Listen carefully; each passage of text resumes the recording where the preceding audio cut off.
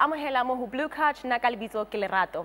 Ka jone lenana re bua ka youth day le re le ketekang selemo se seng le se seng ka di-16 tsa june to commemorate the student uprising of 1976 since then re tswa hole re batla re ho ka jeno take a look at this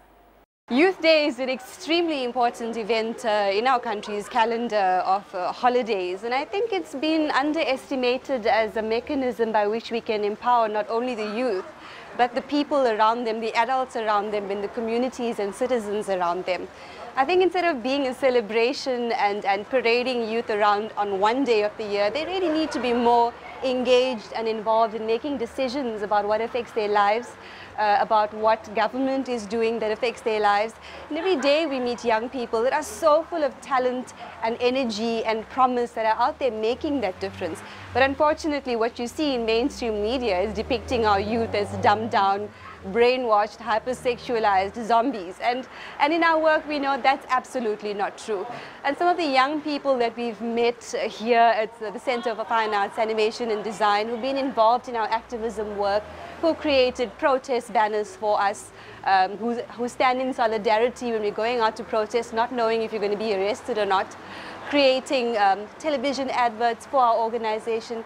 That's the kind of stuff that really gives you hope and faith about what our youth really are all about. And they face massive challenges from abuse, um,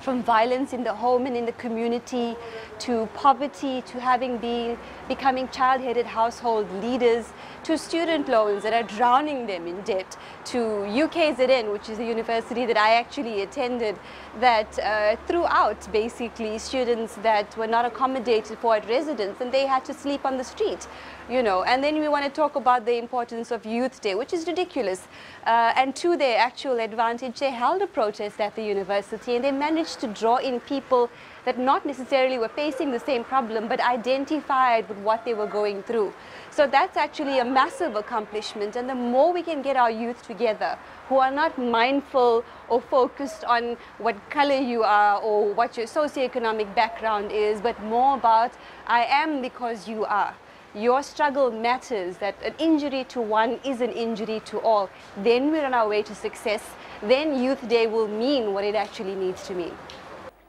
What are one or batjha ba etsang and also just seeing the difference between then and now